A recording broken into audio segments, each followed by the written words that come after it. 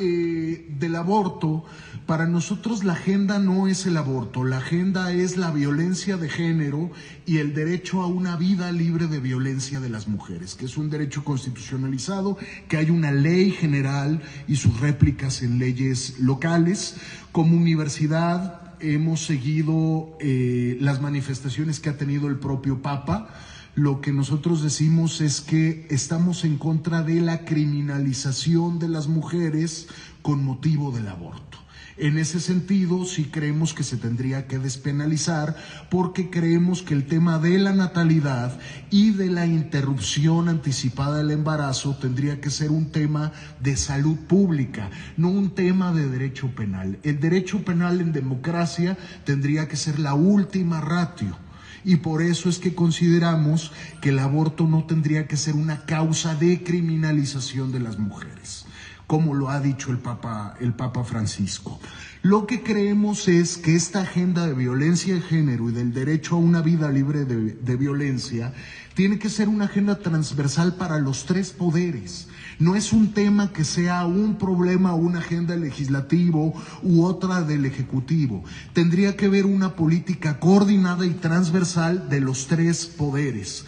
Y no hay duda que un factor fundamental, sobre todo con la violencia feminicida, y contesto, es el tema de la impunidad.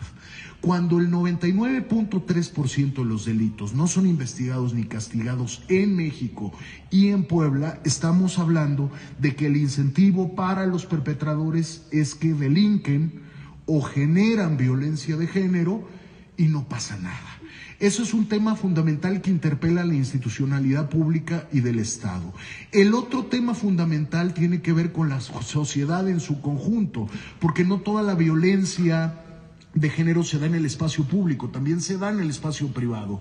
En la pandemia, ojo, ha aumentado más del 400% las llamadas de auxilio y de ayuda en call center con motivo de la violencia de género en tiempos pandémicos. Y esto nos vincula con el espacio privado, indudablemente. Entonces, lo que quiero decir es que también es un tema de educación, es un tema de corresponsabilidad de, la, de las familias, ¿sí? Y es un tema de corresponsabilidad de las instituciones como nosotros. De nuevo les digo, es un tema multifactorial en donde no pateamos el bote.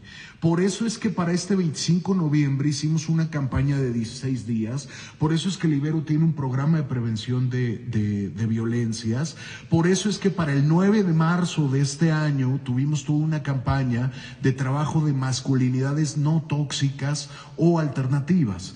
Entonces también, así como hay una dimensión de la institucionalidad pública, hay otra dimensión que nos corresponde a la sociedad en su conjunto. Y ahí entran las instituciones de educación, entra la familia como institución, entra la iglesia como institución para generar una sociedad menos heteropatriarcal. ¿sí? Bueno, eh, el tema de la iniciativa privada es fundamental.